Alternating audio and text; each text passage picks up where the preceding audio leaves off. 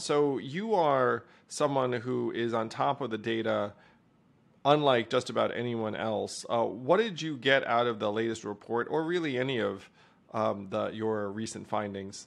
Yeah, I mean, so I mean, there's sort of this key piece, which I know you track really closely too, which is the willingness to vote for uh, a, a, third party or a different party than a Democrat or Republican candidate, and and that number has kind of continued to grow. I mean, we have a majority of, of likely voters who are at least somewhat willing to to vote for a third party candidate, or they say so, um, which is you know obviously an important number to track. Um, I think the other thing that was really critical in the the research that we did pre-election 2020 and post-election is that there's kind of this conventional wisdom among politicals, politicos, and even among researchers that democracy is just not an issue that voters really care about at all. You know, they care about kitchen, quote unquote, kitchen table issues, and and democracy just doesn't matter. Um, and what we found that, that that's actually changing. So yeah, it was not the number one issue um, you know, by, by any means. The number one issue for voters tended to be inflation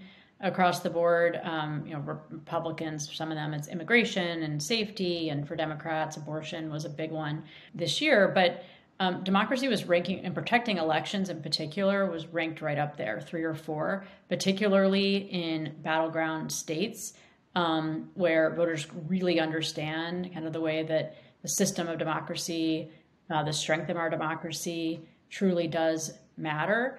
Uh, and I thought that was one of the the more interesting things that really kind of cuts against this idea that democracy doesn't matter. And in fact, among voters that um, there weren't for you know at that point there weren't forward party options, um, but there were an expanded number of we call shifters or split ticket voters um, who would vote for you know a Democrat for for one statewide office and a Republican for another statewide office. There were more of those in battleground states this year, and for those voters in particular, protecting elections, fair elections, um, ranked higher. Um, you know than kind of your mean voter, which really indicates that for them it it may have been a voting issue, even if it's not the issue that it's it's not the same as making sure they have enough money in their pocket. It's it's pretty close.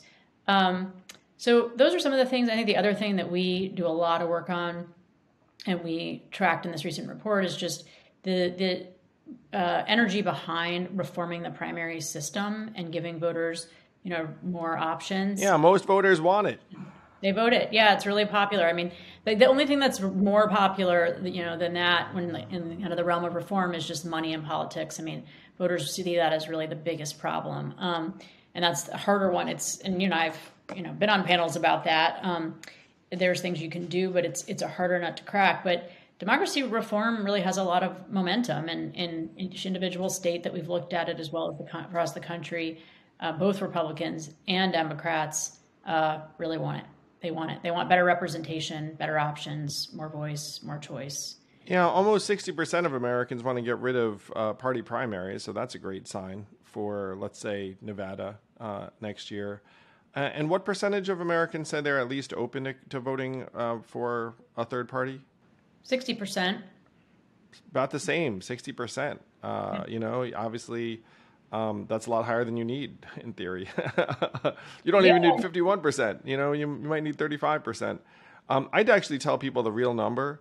Uh, of what you would need to get on board something like the Forward Party in earnest is o- only really more like 10% because in a polarized country, you could swing a lot of races and do a lot of good with that kind of base.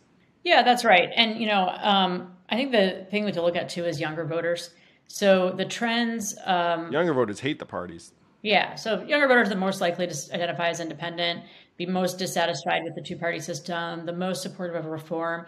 Um, even you know, youngest the youngest Republicans, um, there's a like a major delta between support for democracy reform among younger Republicans and older Republicans, um, which I think is a, a really strong you know, omen and gives us a really good foundation to build on for the future.